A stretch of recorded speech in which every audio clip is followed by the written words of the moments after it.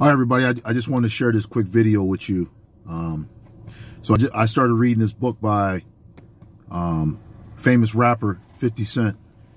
And he gave some words of advice in his book that I wanted to share with you today. So, but before I do that, uh, please make sure you subscribe to the channel, um, like the video, and also leave a comment. So basically, he has a book called Hustle Harder, Hustle Smarter. 50 Cent, his name is Curtis Jackson. So what he says in his in the first chapter of his book is he says that everybody, we all have fears in life. Okay, maybe it's a fear of heights. Maybe it's a fear of public speaking. Maybe it's a fear of rejection. Maybe it's a fear of, you know, the dark. Whatever, whatever it is.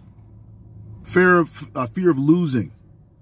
Okay, he says that these fears will keep us from doing what we really want to do. Maybe you have a, maybe you like to write, but you have a fear of putting your work out in front of people because you think the rejection or embarrassment or whatever. So you'll write stuff and you'll never put it out there, even though you have a desire to, to put things out there. You'll never do it because of your fears.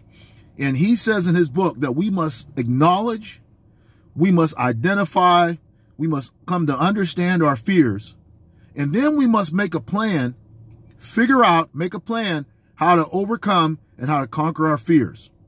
Because the only way we're going to become a true, uh, uh, uh, full value and get our full value out of ourselves is if we overcome our fears. And this is what he said in his book. So we have to acknowledge our fear. We all have them. He has them. I have them. You have them.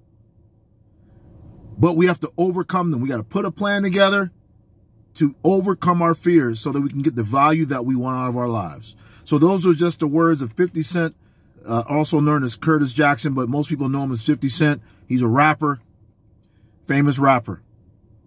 So I just want to share that with you today. Please like the video, subscribe to the channel, leave me a comment. How do you overcome your fears? What, what are some thoughts on this? Thanks.